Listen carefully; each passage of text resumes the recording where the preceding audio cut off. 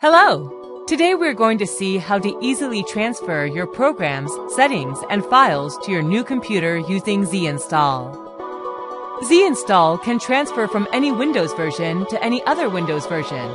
For example, XP to Windows 7, 8, or 10, Windows 7 to Windows 10, Vista to Windows 10, or even rescue a broken computer. In this video, we'll transfer from Windows 7 to Windows 10. Meet my old computer. I love it. I got used to it, but it's kind of slow, and it's time to buy a new one. As you can see, I'm using Microsoft Office, iTunes for my music, Outlook for my email, and I have a bunch of files like pictures and documents, all of which I want to have on my new computer.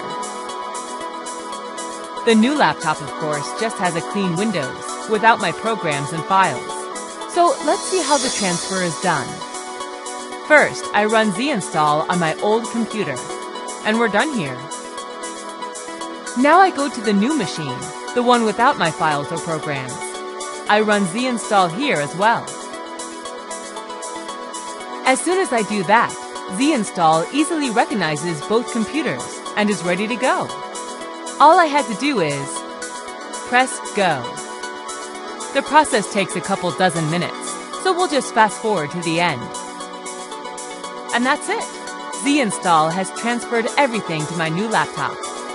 I didn't install anything.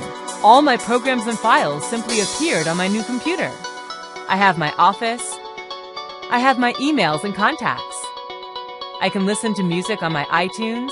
I also have all of my pictures, all of my documents, and all of my files right here with me. My new laptop finally feels like home. Z-Install makes your transfer easy.